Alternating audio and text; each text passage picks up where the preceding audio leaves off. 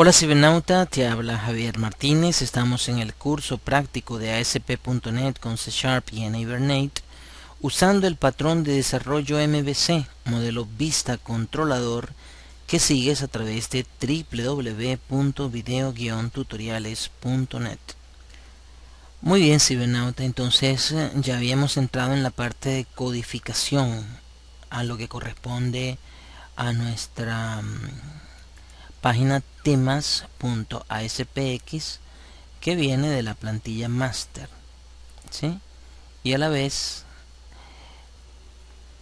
tenemos acá nuestro sitemap donde las páginas que vamos a desarrollar son default temas y nuevo hilo ¿sí? entonces estamos comenzando la codificación de temas ASPX Vamos a revisar aquí nuestro dataset y aquí vemos en el dataset que vemos a temas y vemos a descripción. Debería ir así.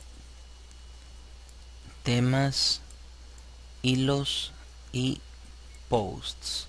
Así. Entonces vemos que tiene como nombre descripción. Así lo hemos puesto vamos a guardarlo acá así lo hemos puesto en lo que es el eh, título descripción ¿sí? vamos entonces acá a crearnos una región number region que vamos a llamar dt temas en region en region aquí. Voy a crearme aquí un get y un set. Coloco private de tipo de ese foro. Punto. Temas. Data table. Y lo voy a llamar dt temas. Lógicamente aquí tengo que colocar llave que abre y llave que cierra. Paso a colocar mi valor de set que va a ser llave llave y dentro de las llaves coloco view state view state abro corchete cierro corchete aquí cierro corchete aquí y aquí coloco dentro de comillas dobles a dt temas. Esto lo hago entonces igual a value punto y coma. Y ya terminamos con el set. El get va a funcionar de la siguiente forma. Get abro acá y puedo cerrar acá la llavecita. Me voy a crear acá un object o igual a view state de ese temas dt temas dt temas. Punto y coma. ¿qué va a pasar aquí? que vamos a evaluar nuestro get sería entonces if el o que estamos colocando acá arriba es igual a null ¿qué va a pasar? bueno, si es null voy a retornar null caso contrario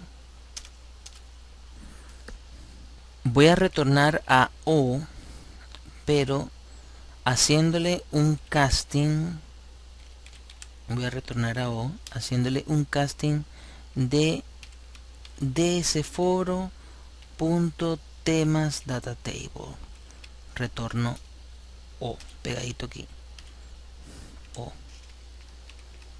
Punto y coma. Muy bien entonces ya con esto tenemos a dt temas vámonos entonces al page load. Vamos a ir guardando acá. Y comenzamos con nuestro page load. Primeramente voy a comprobar if page o sería en todo caso not page punto is post back. Aquí lo tengo abro mi llave cierro mi llave. Try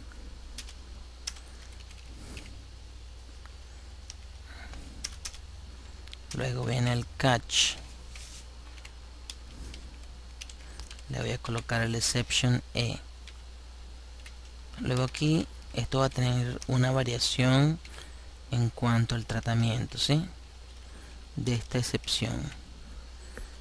Voy a colocarle aquí en vez de ex y vamos a hacerle un throw nuevamente pero ahora sería un new exception. Y abro paréntesis y coloco x.message aquí lo tengo. Epa. Message. Aquí punto y coma. A ver. Message. Tengo cuántos paréntesis aquí veamos. A ver. Este señor no va aquí. Falta un paréntesis. Ahora sí. X.message sin paréntesis vámonos ahora con la parte del try vamos a guardar con control s. Y en cuanto a lo que corresponde al try voy a llamar a un this punto dt temas igual a cnt temas y de cnt temas voy a llamar al select. Cnt temas de aquí voy a llamar a select perfecto ahora como lo que necesito acá en este page load es mm, llenar mi grid view llamo entonces al grid view que sería gd ¿cómo fue que lo llamamos? gb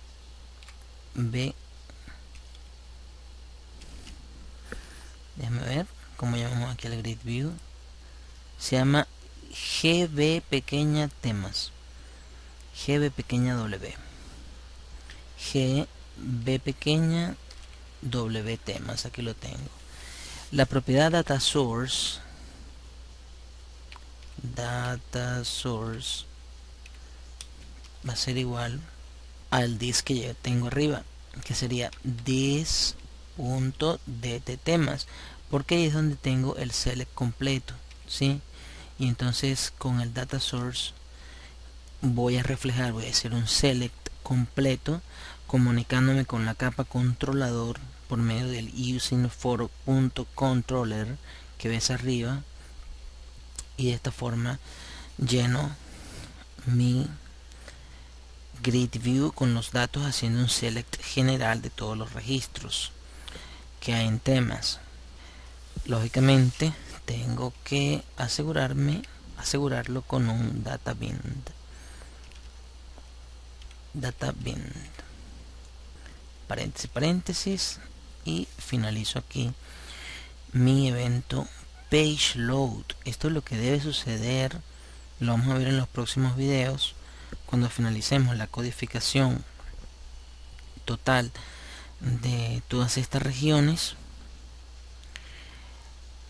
lo que debería suceder al ejecutarse el evento page load es decir cargar todos los registros que están dentro del select porque él se comunica con modelo a través de controlador. Desde aquí de vista comunicamos a modelo con por medio de la capa controlador. Ahora vamos a colocar aquí las regiones que vamos a utilizar en los próximos videos.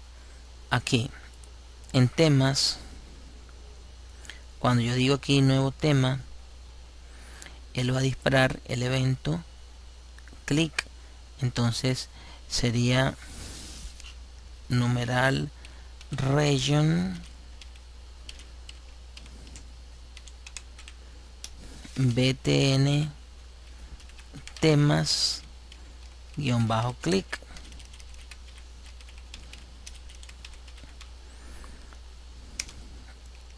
En region.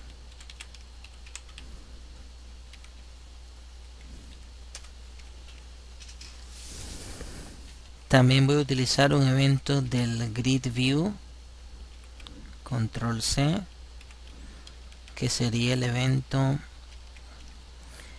lo llamamos. Se me está olvidando. Gbw temas. Gbw temas. El evento va a ser el raw deleting. Deleting. Exactamente. Esto es en lo que tiene que ver con el grid view y arriba tenemos el btn temas click. Seguimos con el grid view pero ahora en este caso no con el deleting sino con el editing. Allí también vamos a utilizar acá el raw cancel edit. Cancel editing canceling edit. Así. Creo que se llama el evento. Déjame revisar. Un momentico aquí cibernauta control s. Vamos a ver acá el evento. Se llama acá. Row. Exactamente. Canceling edit perfecto. Canceling edit. Raw editing raw deleting me falta el de creo que es el de actualizar. El de actualizar es el updating raw updating. Vamos entonces y colocamos raw updating updating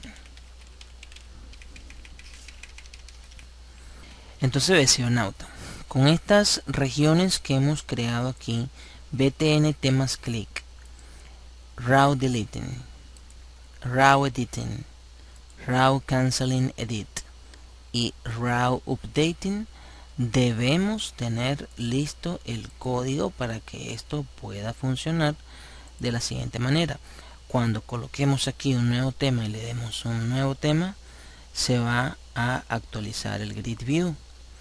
También al ejecutarse el evento page load se van a cargar los datos dentro del grid view las descripciones y yo puedo modificarlas o eliminarlas. Para ello fue que coloqué las regiones entonces tenemos ya codificado la parte de temas y tenemos codificado la parte del page load. Nos veremos en el video número 36 para comenzar con nuestro btn temas click. Un abrazo y hasta entonces